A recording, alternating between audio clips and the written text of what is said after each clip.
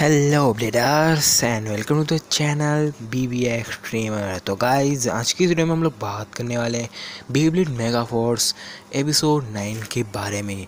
और मैं कौन हूँ? मेरा भी एक यूट्यूब चैनल है मेरे चैनल का नाम है एस के बी वर्ल्ड लिंक डिस्क्रिप्शन में है। विज़िट करना सब्सक्राइब करना। और मैं भी एक बीब्लिड का यूट्यूबर ही हूँ। तो गाइज़ चलो ये वीडियो को स्टार्ट करते हैं।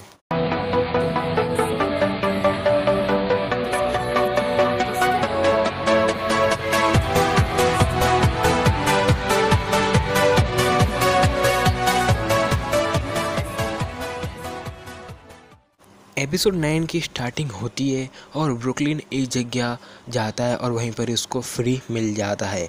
लेकिन ब्रुकलिन फ्री को देखकर चौंक जाता है कि फ्री डेला होया क्यों प्रैक्टिस नहीं कर रहा है। तभी ब्रुकलिन फ्री के पास जाता है और पूछता है कि तुम्हें प्रैक्टिस नहीं करनी है और फ्री धीरे से जवाब देता है कि उसको प्रैक्टिस नहीं करनी, क्योंकि उसको प्रैक्टिस बिल्कुल भी पसंद नहीं है।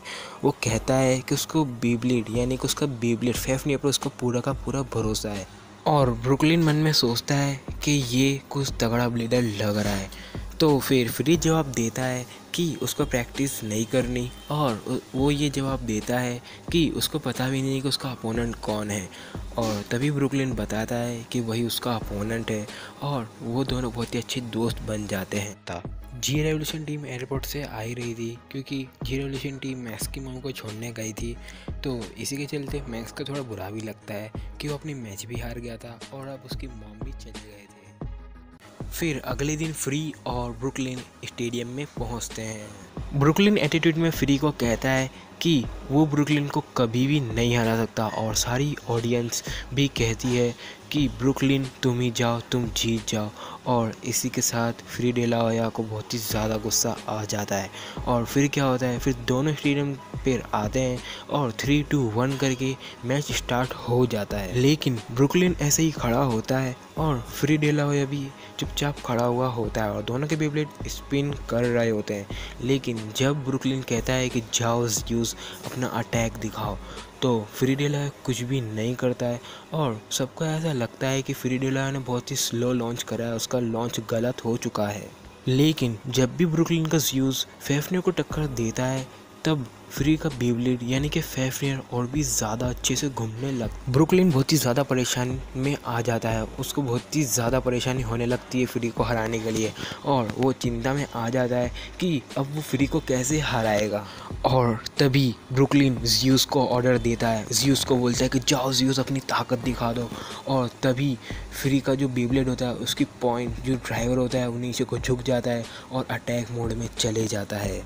और वो ब्रुकलिन यानी कि जियोस के हमले से बच जाता है और फ्री डेलाय का बेवलेट फेफनियर स्टेडियम के साइड में स्पिन करने लगता है। फेफनियर और जियोस स्टेडियम में स्पिन करते रहते हैं और इससे मैच थोड़ा बोरिंग हो जाता है, लेकिन फिर फ्री बोलता है कि तुम्हारे अंदर इतना ही दम है और इससे ब्रुकलिन को बहुत ही ज़्यादा गुस्सा आ जाता है और फिर ब्रुकलिन और फ्री दोनों डिसाइड करते हैं कि चलो अब मैच ख़त्म करते हैं और तभी ब्रुकलिन अपना king of darkness attack use करता है।